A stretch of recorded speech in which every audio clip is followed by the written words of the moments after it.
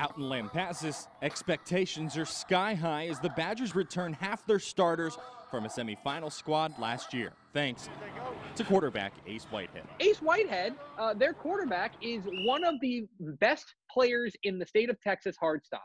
Plain and simple. He is one of the most dynamic playmakers that you will see at any level. You could put Ace Whitehead on almost any 6A program and he would be a superstar. He is that level of talent. Whitehead, a Longhorn baseball commit, has passed for more than 9,500 yards in three years leading the Badgers, and in 2019 was the Class 4A Offensive Player of the Year.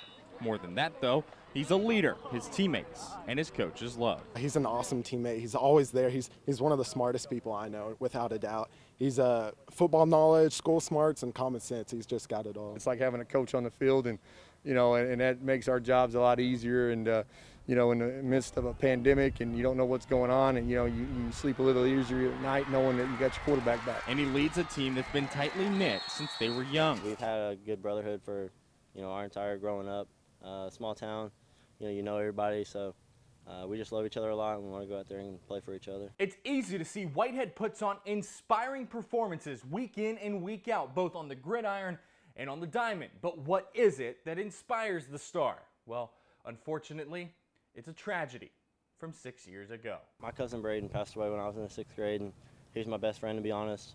And, uh, you know, when he passed, that kind of gave me the greatest motivation uh, to go out there and play every day, work every day in his name.